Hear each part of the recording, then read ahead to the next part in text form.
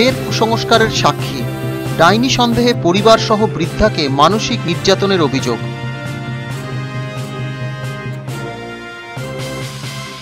বিংশ শতাব্দীতে আমরা যে কুসংস্কারকে সঙ্গী করেই পৌঁছেছি, তার সাক্ষী বহুবার সংবাদ শিরোনামে উঠে এসেছে।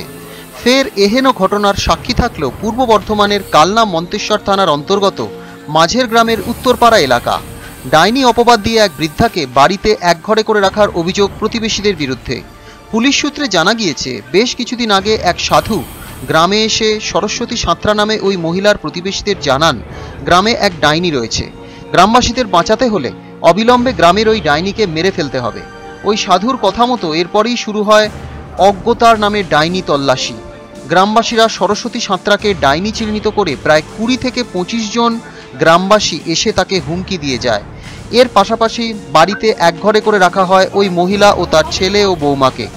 ঘটনার কথা পঞ্চায়েত প্রধান ও বিডিও অফিসে জানানোর পর নড়ে চড়ে বসে প্রশাসন। ঘটনায় জড়িত সন্দেহে চারজনকে গ্রেফতার করে মন্তেশ্বর থানার পুলিশ। যদিও ওই মহিলার পরিবারের দাবি, মাত্র চারজনকে গ্রেফতার করা হয়েছে, বাকিরা এখনও গ্রামে রয়েছে। তাই এখনও আতঙ্কিত রয়েছে গ্রামের ওই বাকিদের তল্লাশি চলছে পুলিশের। বুঝতে পারছি না বাবা, আমি সাধারণ মানুষ। আমাকে বলেছে ওরা অপবাদ দিচ্ছে যে আমি ডাইনি।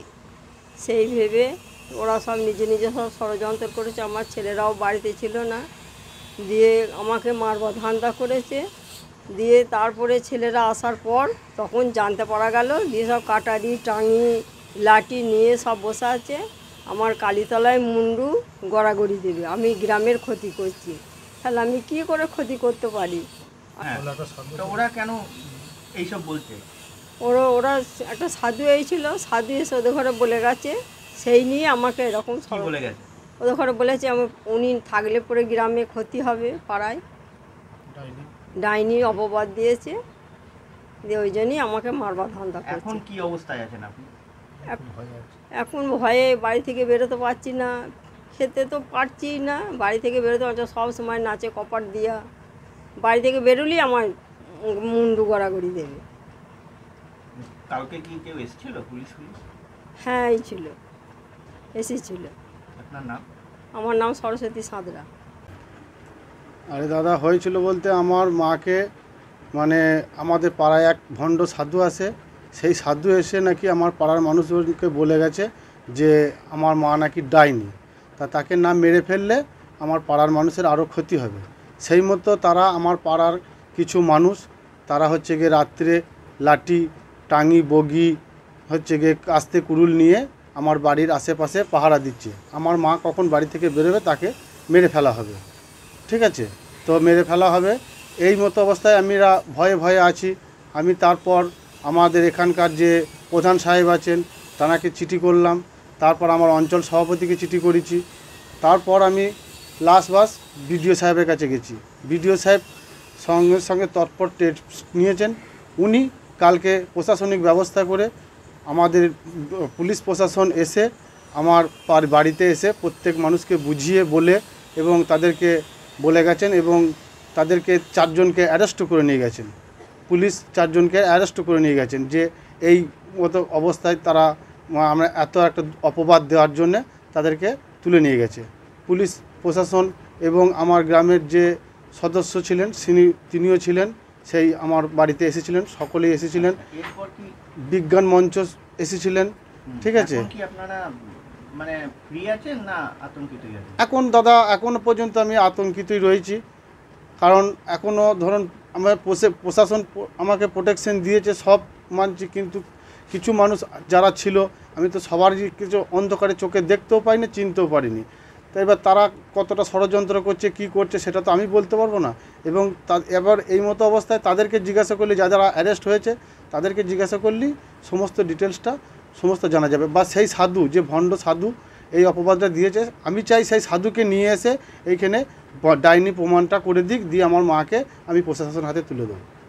আপনার আমার নাম তপন কুমার সাঁত ওই তো ওই ভূত পেয়েছে। ওই ইয়ে হয়েছে ওর কি বলব? ডাইনি। ডাইনি পেয়েছে এইরকম বলছে। তা আমরা কোনোদিন দেখিনি? আমরা তো আজ আসিনি। ভগবান জানে বলছে ভূত হয়ে বেরোচ্ছে বিড়াল হয়ে বেরোচ্ছে। কোনোদিন আমরা তো বিড়ালও দেখছি না আর ভূত হয়েও দেখছি না। কে বলে গেছে এটা? এরকম হচ্ছে? ওই যা যারা বলার তারাই বলছে। পাহারা দিচ্ছে রাতে। কি কি সাধু এসেছিল কোনো? হ্যাঁ সাধু তো বলে গেছে। কি বলে গেছে? ওই তো ওই- ওই- নকি করেছে ওই নকি পেয়েছে। আপনার নাম? হ্যাঁ ঘটনাটা হচ্ছে ওই সরস্বতী যে ধারা আছে উনি একটা আমাদেরকে অ্যাপ্লিকেশন করেছিলেন যে ওনাকে নাকি ওদের ওনাদের পাড়ার কিছু লোক বলছেন নাকি উনি ডাইনি কোন সাধু বলে গিয়েছিল তা ওরা বলছে নাকি মারবো ধরবো ওদেরকে বলেছিল যে কেটে ফেলব। সেই অনুযায়ী আমরা আমাদের যেহেতু আমাদেরকে দরখাস্ত করেছিল সেই অনুযায়ী আমরা বিডিও বিডিওকে বলে ব্লক প্রশাসন থেকে আর ব্লক প্রশাসন এবং আমাদের পঞ্চায়েতের এবং পুলিশ প্রশাসন সবাইকে নিয়ে এখানে গিয়েছিলাম এবং এখানে গিয়ে মানুষদেরকে বুঝিয়ে ব্যাপারটাকে মেটানোর চেষ্টা করি কয়েকজনকে ধরে নিয়ে গেছে। হ্যাঁ কয়েকজনকে ধরে নিয়ে গিয়েছে। হ্যাঁ তা যেটা দিন ধরে নিয়ে গিয়েছে যাদেরকে তাদেরকে ধরুন আমরাই পাঠিয়েছিলাম। তা দেখা যাক এখন প্র- প্র- প্রশাসন কী করে। ছাড়ার ব্যবস্থাটা সাধু নাকি এসে বলে গিয়েছিল? এরকম কোনো খবর শুনে হ্যাঁ আমি এটা শুনেছি কিন্তু তো আমরা ওদেরকে বলেও রেখেছি যদি এরপর সাধু আসে সাধুকে ধরে রেখে আমাদেরকে খবর দিতে আমরা ওনার বিরুদ্ধে ব্যবস্থা নেব। কারণ ধরুন এখন এই একবিংশ শতাব্দীতে এসব তো আর নেই।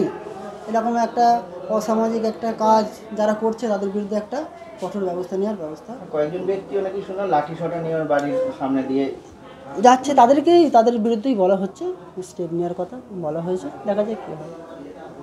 তবে সবাই তো আমরা এখানে মানুষকে বুঝিয়ে এসেছি ওনারা সবাই বুঝেছেন সম্ভবত আর কিছু হবে না। আমার নাম পূর্ব বর্ধমান থেকে পাপাই সরকার টাইমস বাংলা।